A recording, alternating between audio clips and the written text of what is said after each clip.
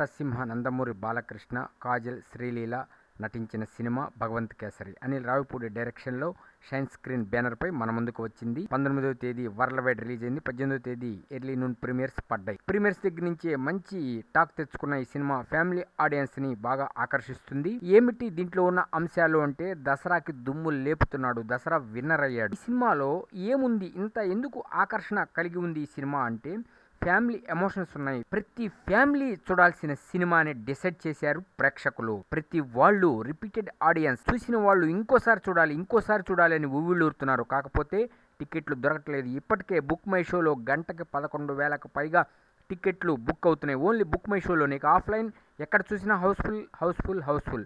ఈ బోర్డ్స్ దర్శనమిస్తున్నాయి. ఈ దెబ్బతో చాలా నిరాశతో వెళ్ళిపోతున్నారు. రేపు చూద్దాం ఎల్లుండి చూద్దామని ఆ విధంగా ఉంది డిమాండ్. రికమెండేషన్స్ కూడా నడుస్తున్నాయిట. ఇటువంటి అద్భుతమైన సినిమా ఏడు రోజుల కలెక్షన్లు ఎంత ఉంటాయంటే నూట ఇరవై కోట్ల పోస్టర్ రిలీజ్ అయింది. కాకపోతే ఇది అఫీషియలా అనఫిషియలా అనేది తెలియదు మా అంచనా ప్రకారం ఏడు రోజుల కలెక్షన్ వన్ ట్వంటీ ప్లస్ ఉంటాయని మేము ఆశిస్తున్నాము.